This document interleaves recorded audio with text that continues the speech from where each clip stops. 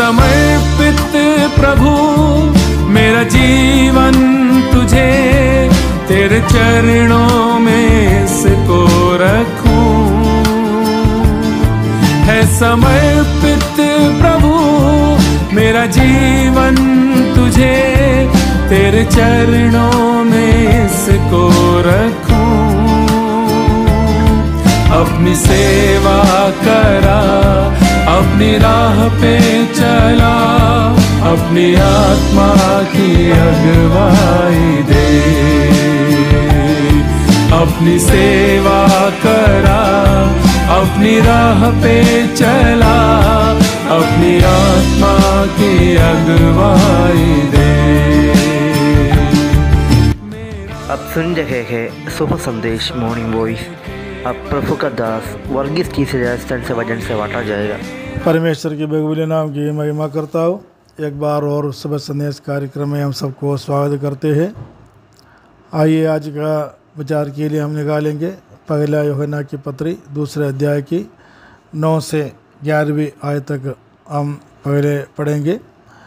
जो कोई ये कहता है कि मैं ज्योति में हूँ और अपने भाई से वैर रखता है, वह अब तक अंधकार भी में है। जो कोई अपने भाई से प्रेम रखता है, वह ज्योति में रहता है और ठोकर नहीं कर सकता। पर जो कोई अपने भाई से वैर रखता है, वह अंधकार में है और अंधकार में चलता है और नहीं जानता है कि कहाँ जाता है, क्योंकि अंधकार ने उसकी आँख को अंधी कर दी है। प्रभु के नाम की महिमा हो। हम पिछले कुछ समय से योगना की पहली पत्री में से कुछ बातों को लेके मेडिटेशन करते हैं। मुझे विश्वास है कि सुनने वाला सबके जीवन में आशीष पाएँगे। और मैं प्रार्थना करता हूँ कि सुनने वालों के जीवन में परमेश्वर का आशीष और अनुग्रह मिले। यहाँ तक इस वचन बोलने के लिए परमेश्वर में सामर्थ्य दिया। इसके लिए मैं प्रभु को पहले धन्यवाद देना चाहता हूँ। और जब इस आयतों के अंदर में से कुछ बात मैं आपको बताना चाहता हूँ। इससे पहले एक और आयत मैं पढ़ना चाहता हूँ। योग योगना की सुसमाचार की आठ, आठवें अध्याय की बारहवीं आयत। यीशु ने फिर लोगों से कहा, जगत की ज्योति में हूँ। जो मेरे पीछे हो लेगा, वह अंधकार में ना चलेगा, परंतु जीवन की ज्योति पाएगा। प्रभु के नाम की महिमा हो। इधर हम देखते हैं कि प्रभु यीशु मसीह ज्योति होकर, जगत की ज्योति होकर इस संसार में आया। क्यों आया? अंधकार में से लोगों को निकालने के लिए यीशु मसीह ज्योति बनकर आया। यीशु मसीह स्वयं बोला, मैं जगत की ज्योति हूँ। क्योंकि हम बाइबल के अंदर हम पढ़ते हैं कि जगत जो है, अंधकार में रहते हैं। अंधकार का मतलब क्या होता है? अंधकार का अधिकारी जो है, जो शैतान होते हैं, शैतान की, अंधकार की सामर्थ्य से परमेश्वर की ओर लोगों को ले जाने के लिए एक ज्योति बनकर प्रभु यीशु मसीह इस संसार में पैदा हुआ था। इसलिए जो कोई यीशु मसीह को जानते हैं, वो ज्योति में चलते हैं। यह मतलब उनका जीवन के अंदर जो परमेश्वर का ज्योति आते हैं, उस ज्योति में चलने के लिए ये, यीशु मसीह संसार में आया था। क्योंकि सारे अंधकार को मिटाना लोग पाप करते हुए परमेश्वर की महिमा से रहित हो गया। उस महिमा से लोगों को बचाकर परमेश्वर की ओर ले जाने के लिए, एक मार्गनिर्देशन देने के लिए प्रवेश मसीह इस संसार में आया था। और हम योहना की पत्री, पहला पत्री, दूसरा अध्याय, नौ से ग्यारहवीं तक जब हम पढ़ता है, वह हम दो प्रकार के लोगों को हम देखते हैं। एक तो जो है जो रो ज्योति में चलने वाला लोग, दूसरे जो जो लोग हैं, जो अंधकार में चलने वाला लोग, जो ज्योति में चलते हैं, उन लोगों का एक प्रत्येकता एक हम देखते हैं कि वो अपनी भाइयों को प्रेम करते हैं। अपनी भाई कौन है? जो ज्योति में चलते हैं, जो यीशु मसीह का ज्योति में चलने वाला हर एक लोगों को परमेश्वर अपनी परमेश्वर के समूह में हम भाई है। भाई भाई है। क्योंकि ये जो ज्योति में, एक ही ज्योति के ज्योति में चलते, एक ही व्यक्ति के जो रोशनी में, प्रकाश में जो जो लोग चलते हैं, उनको भाइयाँ कहते हैं। और हम देखते हैं कि एक दूसरों को ज़रूर वो लोग प्रेम करते हैं, क्योंकि भाई भाई से प्रेम तो करेगा। दोनों परमेश्वर का जोड़ी में चलते हैं। जो परमेश्वर का पुत्र यीशु मसीह को, का को, को अपनी जोड़ी बना करके आगे अगुवाई में आगे चलते हैं। वे लोग भाइया भाइयों हैं।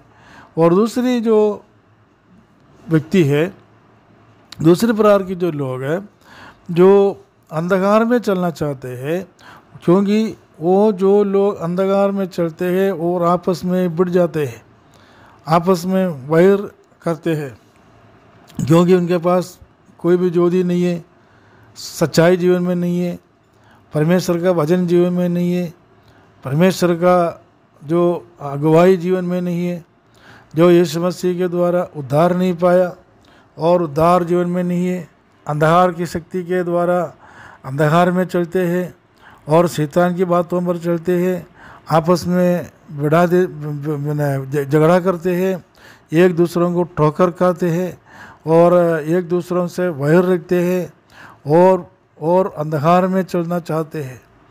और जो लोग अंधकार में चलता है, वो आपस, उनको पता नहीं है कि हम कहाँ जाते हैं कौन सी दिशा में चलना है कौन सी कौन सा रास्ता सही है कौन सा रास्ता गलत है उन लोगों को पता नहीं है। क्योंकि जो जो लोग अंधकार में चलते हैं, उनकी आँखें जो है, वो अंधी हो गया है और रोशनी जीवन आँखों में नहीं है। इनको मालूम नहीं है कौन सा रास्ता सही है, कौन सा रास्ता गलत है क्या सच है, क्या गलत है, इनको पता नहीं है। क्योंकि वो अंधकार उनको आगे चलाते हैं, अंधकार से आँखें बंद हो गई है और परमेश्वर का वज़न जीवन में नहीं है। प्यारे मित्रों, एक व्यक्ति के जीवन में जब परमेश्वर का वचन काम करना शुरू करते हैं, वो ज्योति में चलना शुरू हो जाता है। अंधकार के कोई अधिकार, कोई पावर उसको ऊपर, उन व्यक्ति के ऊपर हावी नहीं होगी, उस व्यक्ति के ऊपर शासन नहीं होगी, क्योंकि परमेश्वर यू चाहते हैं कि परमेश्वर का लोग सच्चाई में आए, परमेश्वर का, परमेश्वर दिखाने वाला ज्योति में आए, परमेश्वर दिखाने वाला ज्योति है। प्रभु यीशु मसीह। और यीशु मसीह को ज्योति बनाकर परमेश्वर संसार में भेजा।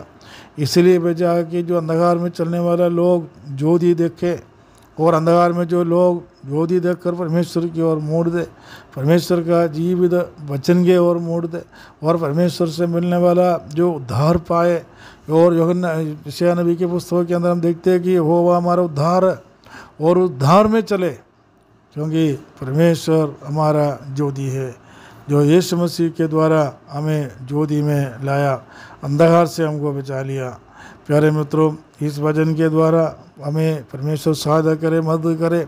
आने वाला दिनों में एक दूसरों के साथ प्रेम रखते हुए, उस ज्योति के ज्योति के अनुसार, जो ज्योति के अगुवाई में या ज्योति को देखते हुए आगे बढ़े।